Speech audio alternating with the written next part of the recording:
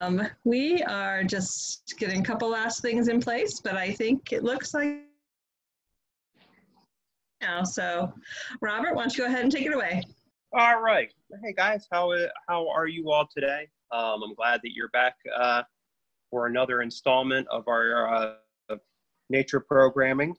Uh, today, yeah, it's muggy, isn't it? Whew, it suddenly got real muggy here. Um, but it's summertime.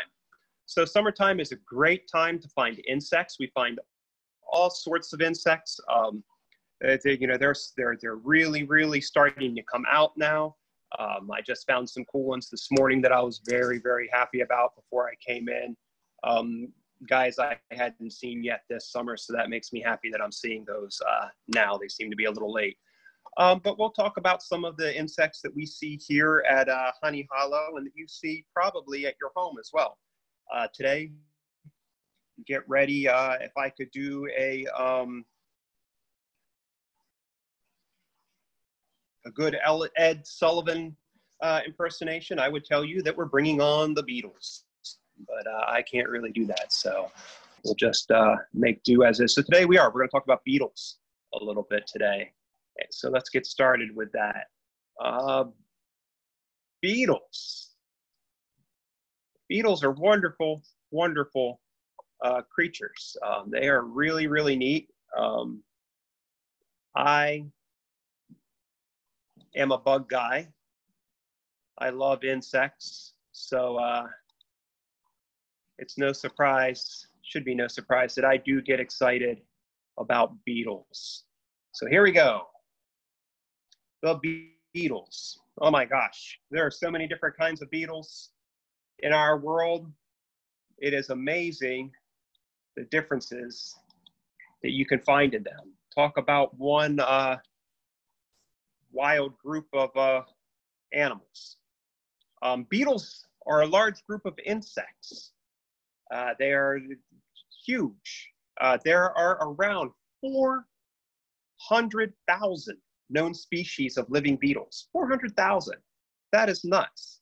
Um, beetles make up around 40% of all known insects.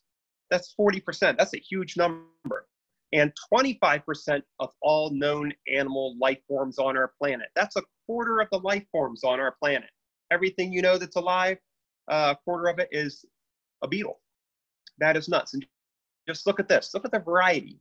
Look at the colors, the shapes, the, the, the sizes. Uh, beetles are, are, are, just naturally stunning. And you, it never um, fails to amaze me uh, just how wondrous uh, beetles can be. There we see some other ones here. Now, we're talking about beetles. One thing you'll notice, you know, this is something where we get into talking about uh, bugs. Um, some of these things that we find that we know as beetles, we'll be calling them bugs today. And it's good to know the difference between a uh, true bug and a beetle. And I should have, or, and I should have uh, posted a comparison, but I did not. But you'll notice with the beetles, check out their backs. Uh, they all have a, a line that goes straight down the middle of their back. Um, a true bug would have a crisscross across their back there that you would be able to see. Uh, beetles do not. So here's the anatomy of a beetle. Uh, beetles, of course, they are a bug. So if they're an insect, how many legs do they have? Insects. Think about it. They have a bunch of them. Do they have a hundred? No. Do they have uh, two. No, they have six of them. They have three pair of legs. They have four legs, middle legs, and back legs uh, that they use for all different purposes. Uh, as with any insect, they have three body parts. Here you see their head. And just like you, well, maybe not just like you, maybe some, of you, um, you will find eyes uh, mouth parts, and antenna. I don't know if any of you have antenna or not. Maybe you do. Um, that'd be interesting to uh, see. So some of them have, uh, so they have that. Course, their uh, head is above their shoulders, above their thorax. which is the midsection of their body. That's where everything is attached, just like you, you and me. Uh, that's where your legs or in your arms are attached to. Um, if you were a beetle, your wings would be attached to your thorax as well. And then we drop down below, and that's where you have their abdomen. Their abdomen is where their gutty works and all other kinds of organs, their soft spots are, is there in their abdomen. Uh, beetle life cycle is uh, interesting. This is where a lot um, happens with insects. Uh, insects, they start off as eggs, uh, and then they hatch. And, and each each uh, beetle is a little different. Beetles can vary in their life cycles, um, and not so much in the stages that they have, but in their appearance and what they actually are.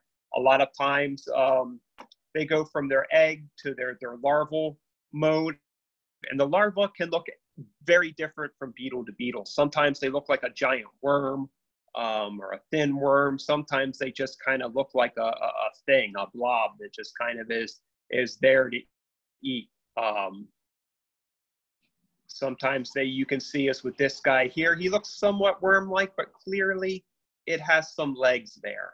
Uh, if you look real close when you find a grub or a beetle larva, you can see that they have legs and often even a small beetle head. Um, but they can look very different uh, depending on uh, the beetle. Uh, the next stage of a beetle's life, it will turn into a pupa. That's kind of where it goes into a stage where it's in between the larva. Oftentimes, the larva form, all they do is eat. The larva, they just eat. Um, that's where a lot of um, that's where a, a lot of uh, beetles they when they they are harmful that's where they cause their harm is in their larval stage. Think of the emerald ash borer. Um, when it's in its larval stage, that's when it chews on the, the, the wood of the, the ash tree. Um, that's where they get in and they, they chew and do all their damage. Um, you know, a lot of different grubs, they get into our plants um, in our gardens and in our, our yards, our grass. They get in and they chew the roots and end up killing the plant. Um, they do a lot of eating. Uh, the pupa stage, not at all. They just kind of uh, think of it as their uh, cocoon. It, it's like a cocoon, like you butterflies, they go into a stage where they form a cocoon and uh, hang out while their body goes through final stages of its metamorphosis into adulthood. Uh, that's what the pupa does. Now, here's another one. This one is entirely different. Here we're seeing the complete metamorphosis of a ladybug. See, it starts off as eggs, the same, but then it turns into this guy. Have a look at this guy here. I bet you've probably seen these maybe um, around your house on your plants outside. These yellow, these orange and black spotted guys, they kind of walk around. Uh, I used to see these for years before I learned what they were. Never had a clue, but they're ladybug larvae. So the ladybug larvae, they're, they're, they're smaller, they don't look anything really like a worm, do they? They just look like another form of insect. And then they turn into their pupa, which is kind of this blobby guy here. And then they become a fully functioning adult. Um, beetles. Beetles can be found on every continent except Antarctica. Uh, Antarctica seems to not have much of anything, probably because it is so cold. Um, but beetles are not there. Uh, beetles feed on a variety of materials. Uh, this is where they can be very beneficial to us. Uh, many beetles um, eat pests, um, ladybugs, they eat aphids and things like that. Um, so some of them can be very, very beneficial to us by eating uh, pests. Uh, they feed on decaying materials. Um, and this is both as a larva and an adult.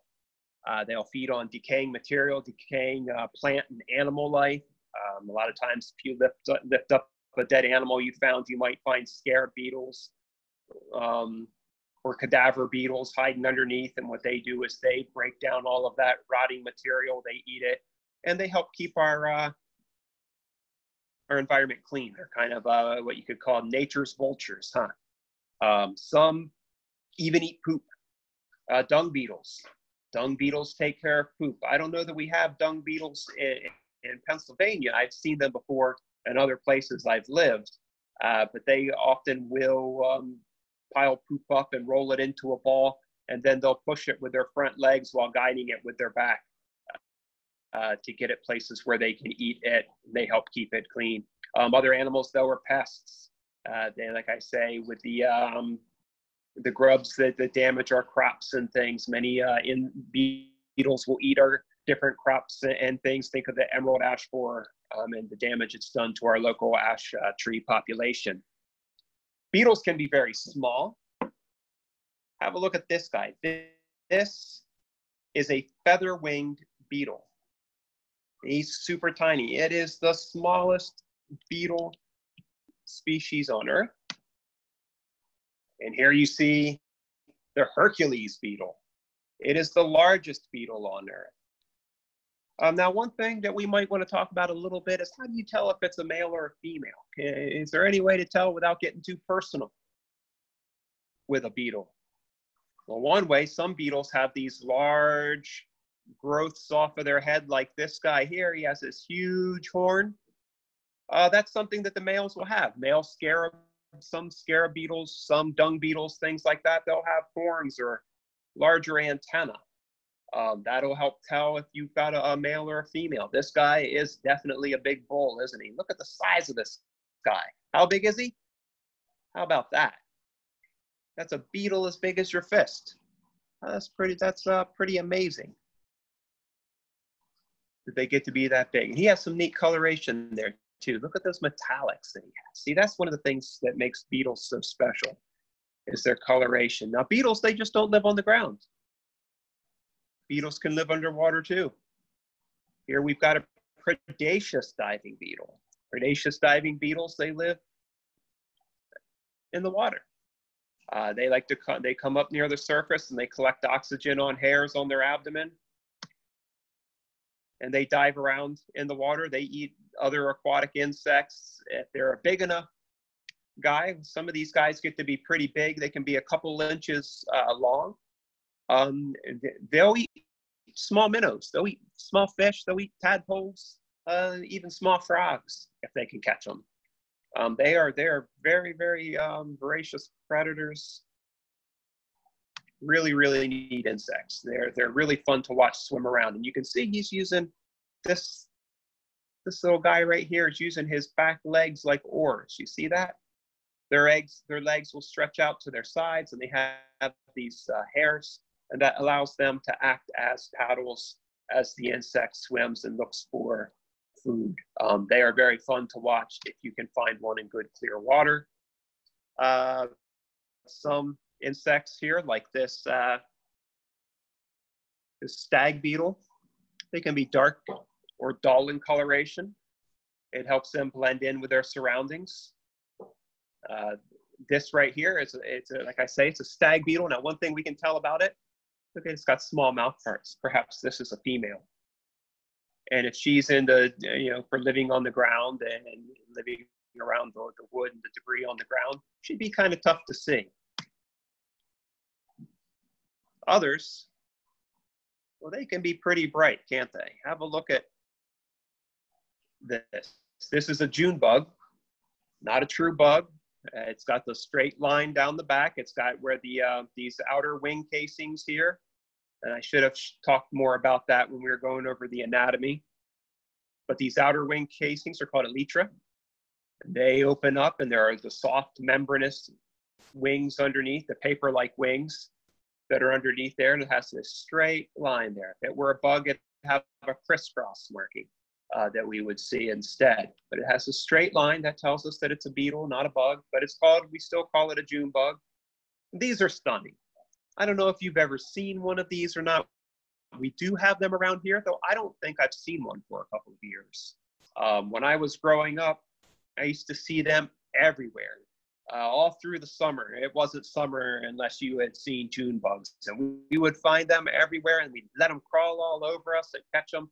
Uh, they are such neat, neat beetles. Um, just look at those colors that they have, those golds and greens. Um, unfortunately, the, the grub of this uh, beetle does feed on, um, on our lawns. So a lot of times uh, you know, they're they can be considered pests. Another brightly colored beetle is this lady right here, the ladybug. Have a look at her. Again, not a not a true bug. Um, ladybugs are beneficial. They eat pests. They eat aphids from our plants, uh, scale bugs, um, and they don't just come in this orange color. They can come in a variety. Uh, this is a, a, true ladybug, but they can be all different kind. Oh, Diane, just you wait. You know I wouldn't miss those. Um, they can be in all different kinds of uh, shades of orange and yellow and red and different dottage. Um, but I think a lot of times one thing that we don't notice when we see ladybugs, we don't notice the head they have. I think we often see this part of their thorax and these white dots and always assume that those are the head. Uh, whenever kids have uh, coloring pages or, you know, in our crafts and things, you don't usually see that. You just see that, and I think it's assumed that these white spots are its eyes. But have a look at its head. It actually has a beautiful little face there, doesn't it? They are neat insects. Diane, I wouldn't leave you hanging. This is also my favorite. Um, I had not seen any yet this year. Uh, Monday, I was on a walk. I had to. I went to check on something um, and took a walk and was over on the, the drive near Tuckamony, and I found one. These are dog bane beetles. Dog bane beetles are so neat. Um, they they are stunning. Um, and depending on how you're looking at them at the light, depends on the coloration you're going to see. That color will shift. Um, dog bane beetles, they feed on a, a, a, group of plants that we call dog banes. Um, they're related to milkweed. Um, they are poisonous since they're related to milkweed, um, but this guy has found a way to be able to eat them. Now, another interesting thing about the dog bane plants is that they create a sticky, oozy sap, and it is designed to glue um, animals' mouth parts together. So if the poison doesn't kill them, then its sticky sap can glue their mouth parts together, and then they can't eat. And that's supposed to protect them. Well, the dog bane beetle has found a way to get out of that. It finds a spot where it can chew on the plant, and then it walks backwards on the plant, dragging its mouth across, thus cleaning its mouth of the sap.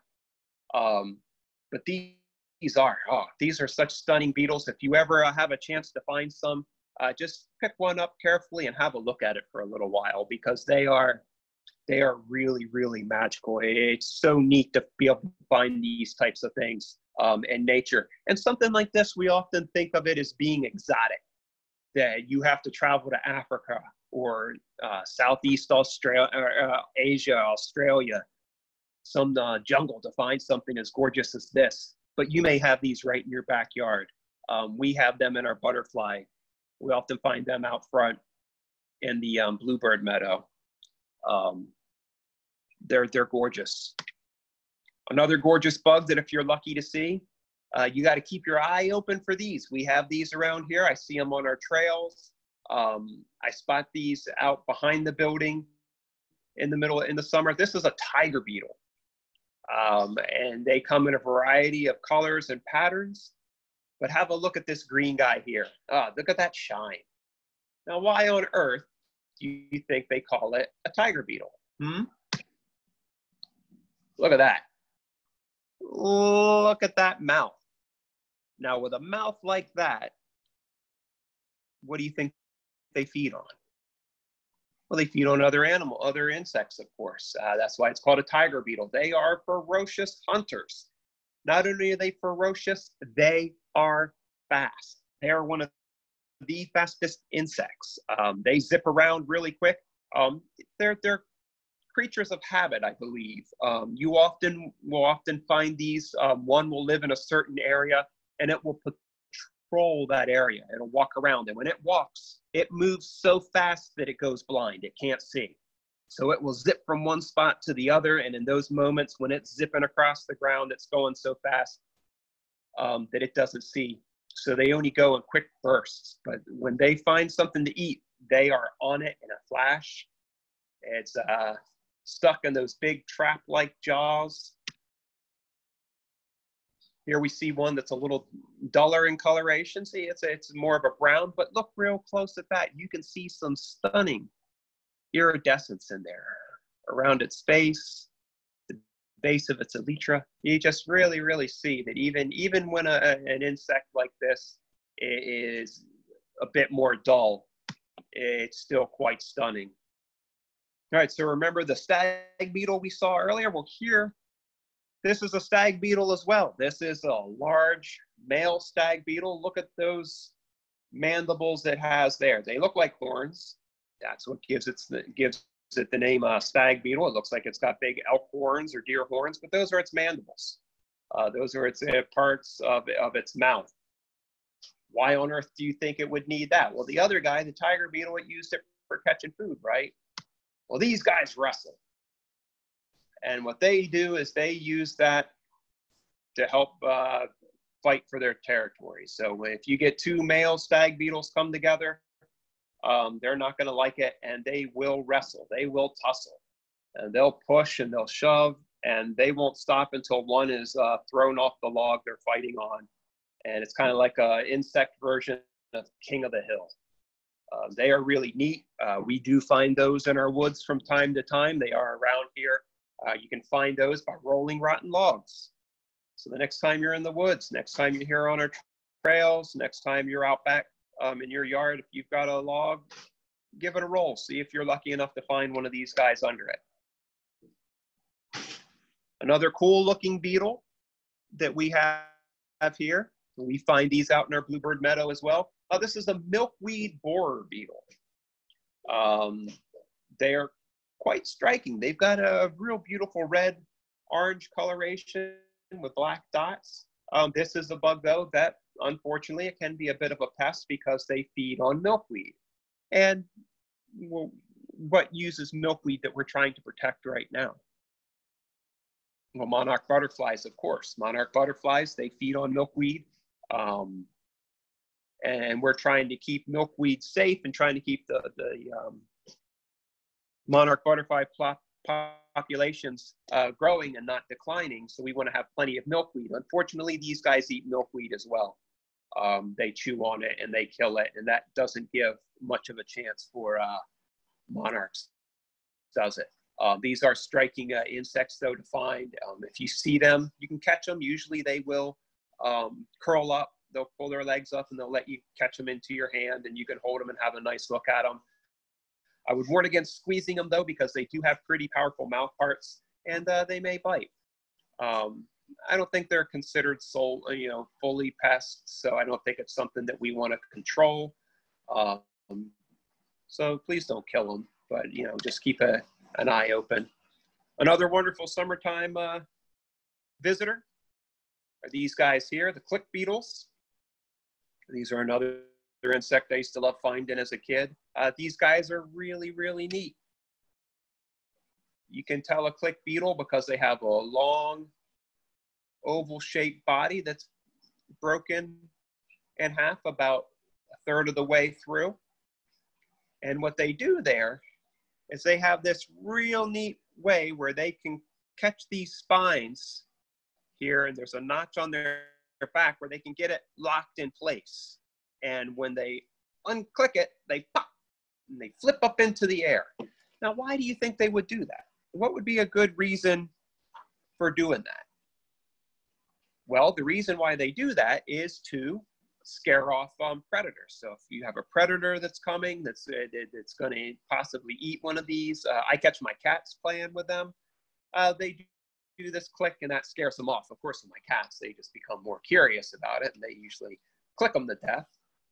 But they're neat to find. So if you ever find one of these and you want to see it click, just gently put a little bit of pressure on its back and you'll get to see it happen. Neat summertime bug. Another neat summertime bug is this guy. Can you guess what it is? Do we have, have any ideas? Now this, if you guessed firefly, you were right.